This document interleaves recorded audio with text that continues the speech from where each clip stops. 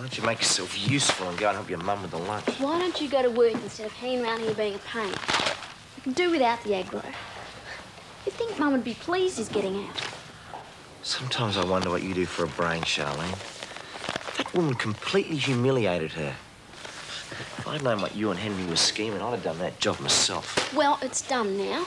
Mum, he's here. Henry! Oh, careful with the ribs, Danny. Oh, sorry, I'm in. Someone say something. Hello, Henry. G'day, Mum. How you doing, Shane? Henry, I gotta go to work. Yes, all right. See you later, Shane. It's great to be home, Mum. And I promise I'll pay back every cent of that thousand dollars. Yes, I'm sure you will. I've really learnt my lesson this time, Mum. You'll never have to bar me out again. Henry, I'm very glad that you're free, and uh, I wish you the best for whatever you decide to do with your life. Come on, Mum, let's be friends again. But I think you better be on your way. What are you talking about, Mum? Henry's gonna live here with us. He can't, I'm sorry.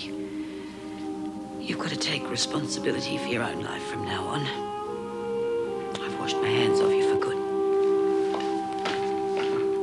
Neighbors, everybody needs good neighbors.